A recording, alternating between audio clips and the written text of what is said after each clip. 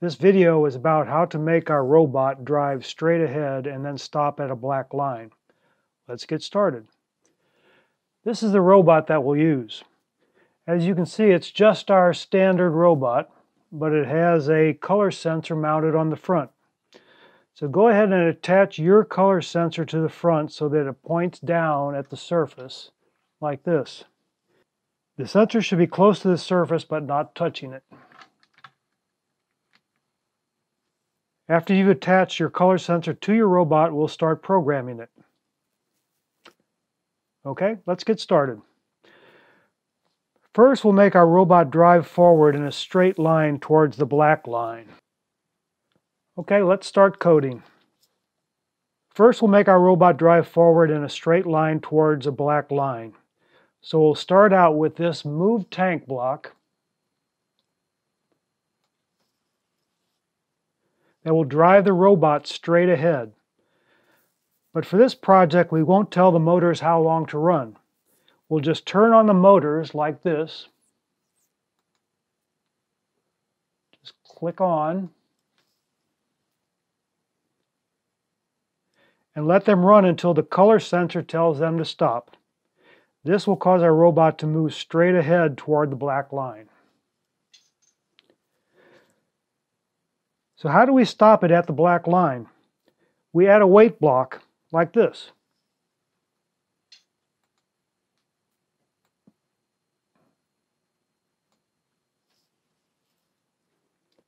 What a wait block does is it stops the program from advancing to the next block and it waits until something happens. What does it wait for? Well, it waits for whatever you tell it to wait for. In this case, we want it to wait for the color sensor to detect a black line. To do that, we bring up the Wait Block menu and select the color sensor because that is a sensor that will tell us when we have reached the black line. Next, we select the Compare option because we want to compare the color sensor's measurements to whatever measurements we expect from a black line. Next we see a list of the color sensor's modes. As you already know, the color sensor has three modes, the color mode, reflected light intensity mode, and ambient mode. We'll select reflected light intensity mode because we know that the color black does not reflect much light.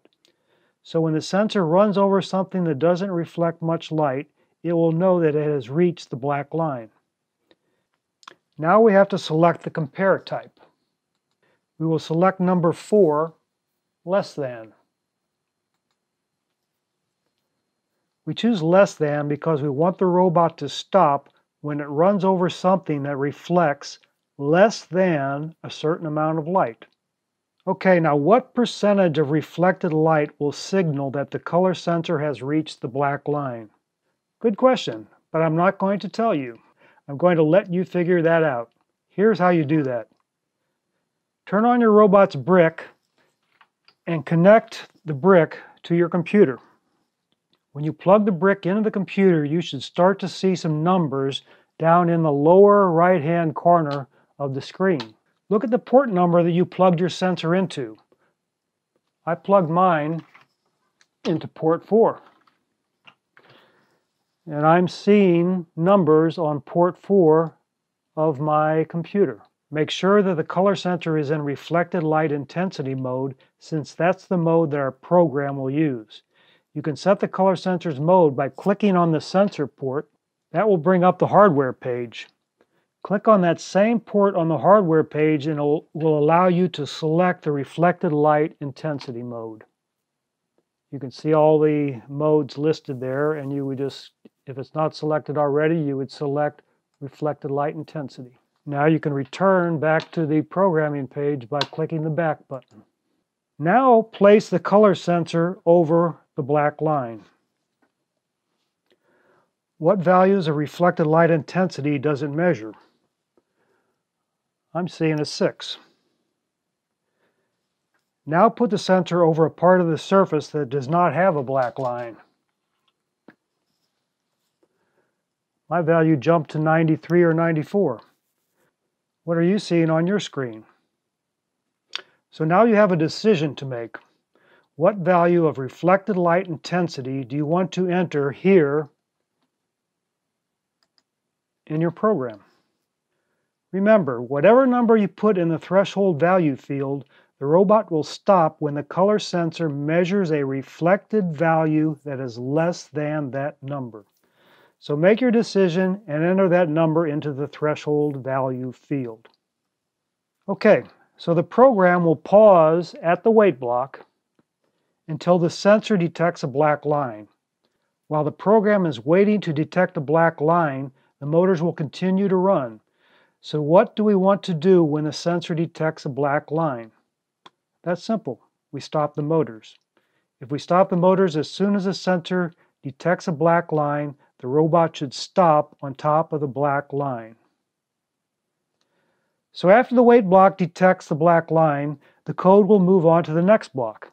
If we want the robot to stop after the wait block detects the black line, the next block must stop the robot. So after the wait block, we will put a move tank block which will stop the motors.